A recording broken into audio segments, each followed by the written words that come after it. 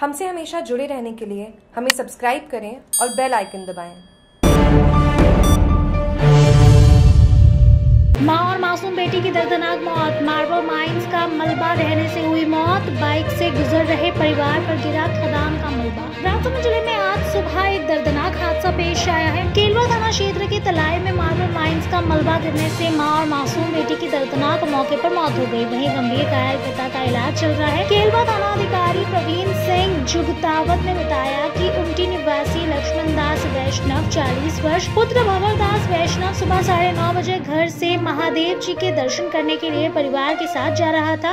Bike पर उसकी पत्नी और बेटी साथ में थे। रास्ते में प्ले इलाके में स्थित पद्मिनी मार्बल की चट्टान बाइक पर गिरने से लक्ष्मण दास गंभीर घायल हो गया और उसकी पत्नी राजेश्वरी 38 वर्ष और पुत्री खुशी तीन साल की मौके पर ही मौत हो गई।